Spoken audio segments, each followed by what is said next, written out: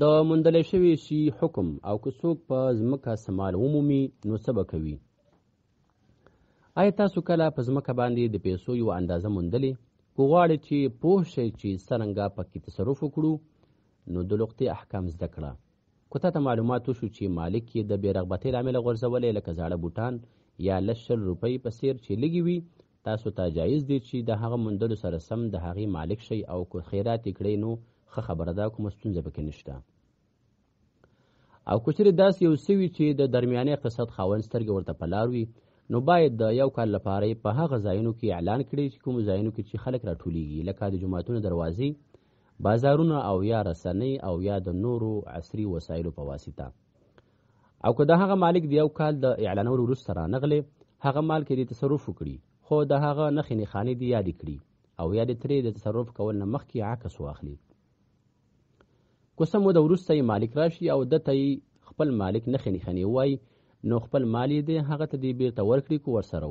او که ورسره نه نو د هغې قیمت یا بدله دې ورکړي که مکه مکرمه کې څوک څه ومومي هیڅکله دي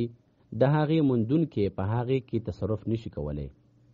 که څه هم ډېره موده اعلان کړي د رسول الله صلی الله علیه وسلم د حدیث د وجنه مایلی دي او په مکه کې موندل شوی سیز به نه اخیستل کیږي مګر دا چې د اعلان نیتی وي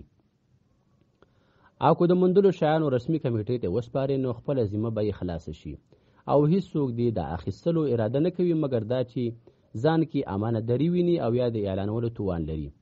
او که ورک شوی سیز لوی سروی وي چې د لیوانو مقابل کې د ځان دفاع کولی شي لکه اوښ وغیره نو هغه دې پرېږدي تر څو خپل مالک یې راشي او وینیسي